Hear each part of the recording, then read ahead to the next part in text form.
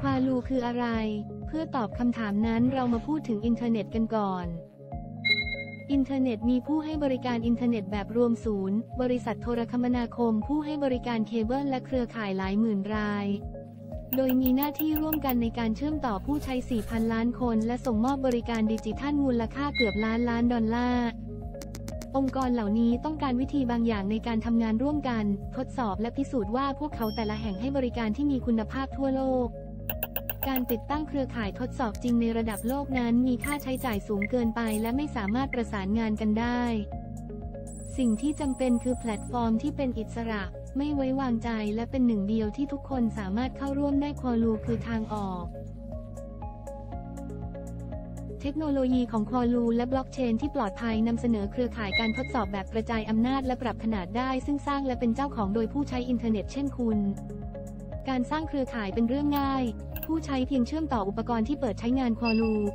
เราเตอร์ Wi-Fi หรือแอปมือถือไปยังบริการอินเทอร์เน็ตที่ใช้งานอยู่เพื่อสร้าง Qualoo โหนดเพื่อแลกกับการสร้างเครือข่าย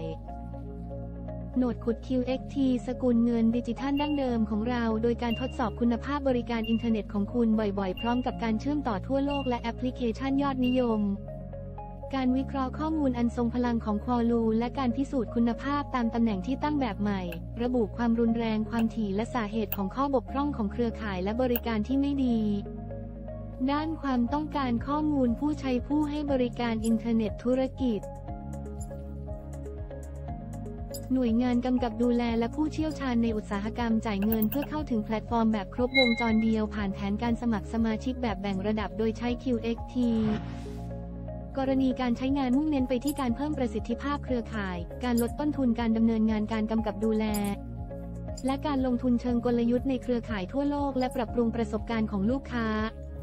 แตกต่างจากเครือข่ายอื่นๆ Qualoo เป็นของประชาชนสร้างเศรษฐกิจที่ใช้ร่วมกันความรับผิดชอบ และความโปร่งใสที่ออกแบบมาเพื่อรักษาความปลอดภัยประสบการณ์ดิจิทัลออนไลน์ของเรา ในขณะเดียวกันก็นำประโยชน์มาสู่ผู้ใช้หลายพันล้านคนทั่วโลก เยี่ยมชม qualoo.io เพื่อเป็นส่วนหนึ่งของการปฏิวัติอินเทอร์เน็ต